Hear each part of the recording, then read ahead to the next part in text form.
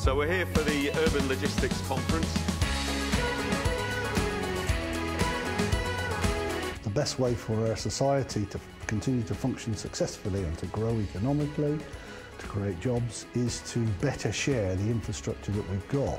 The main infrastructure within logistics and transport is, of course, the roadway. Where we're trying to go now for the future is think about how freight and the goods and services move around the city in line with the movement of people. I think the most important thing is to just generally improve relationships between road users. We do need space for cycling um, in all the city centres.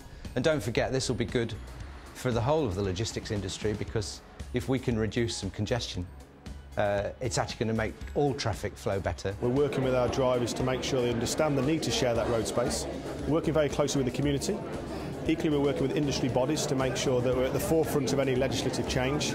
And most importantly for me, we're looking at vehicle design and specification to make sure we've got the necessary enhancements and features fitted. We have a real job to do to convince young people that there are some great opportunities for them to enjoy fulfilling and rewarding careers in logistics and transport.